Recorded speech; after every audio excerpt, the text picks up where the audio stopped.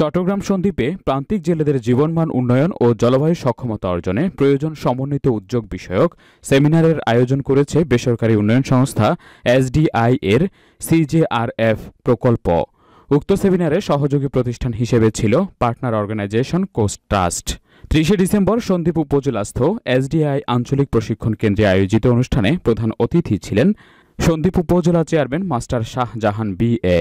বিশেষ অতিথি ছিলেন উপজেলা ভাইস চেয়ারম্যান মাইনুদ্দিন মিশন। এসডিআইয়ের সন্দ্বীপ অঞ্চলের ভারপ্রাপ্ত আঞ্চলিক ব্যবস্থাপক মোহাম্মদ ফসিউল আলমের সভাপতিত্বে অনুষ্ঠিত সেমিনারে মূল প্রবন্ধ উপস্থাপন করেন রিকল দুই হাজার একুশ প্রজেক্টের প্রকল্প সমন্বয়কারী শ্যামল রায়। শুরুতে শুভেচ্ছা বক্তব্য রাখেন সিজেআরএফ প্রকল্পের technical officer Faisal Hossain. Recall প্রজেক্টের ফিল্ড ফ্যাসিলিটেটর বাদল রায় স্বাধীনের সাবলীল উপস্থাপনায় মূল প্রবন্ধের উপর মুক্ত আলোচনায় অংশগ্রহণ করেন Azimpur UP chairman Abdullah Aziz, Sandwip press ক্লাবের সাবেক সাধারণ সম্পাদক ইলিয়াস কামাল বাবু, উপজেলা মৎস্য অফিসের ফিল্ড অফিসার আব্দুল আওয়াল, জেলে প্রতিনিধি মুর্শিদ, কোরবান ও জুয়েল প্রমুখ।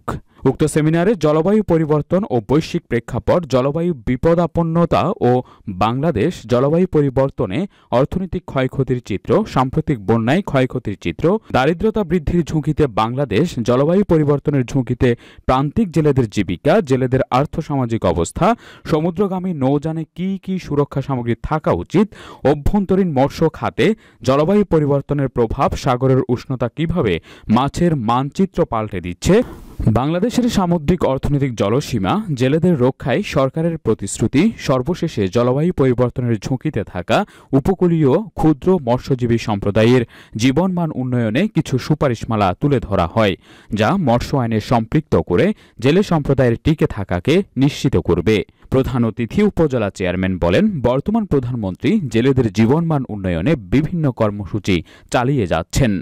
এখন তাদের সকলকে নিবন্ধিত করে ভাতা প্রদানের উদ্যোগ গ্রহণ ও তা নিশ্চিত করার চেষ্টা করে যাচ্ছেন। তবে মৎস্য আহরণ একটি চ্যালেঞ্জিং ও ঝুঁকিপূর্ণ ব্যবসা তাই নিজেদের নিরাপত্তা আগে নিজেরা নিশ্চিত করতে হবে।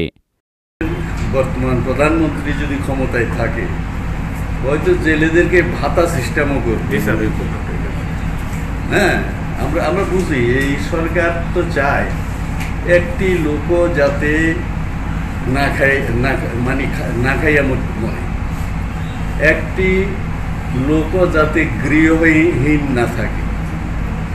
হ্যাঁ এবং এই কালকের থেকে, পরশুর থেকে দুই হাজার একুশ সনে, একুশ সন এবং এরপরে তিরিশে ডিসেম্বর, একত্রিশে ডিসেম্বর পর্যন্ত উনি ডিক্লারেশন দিছে, একটি গৃহ বিদ্যুৎ ছাড়া থাকবে না, প্রত্যেক গৃহে বিদ্যুৎ দিবে, বুঝছেন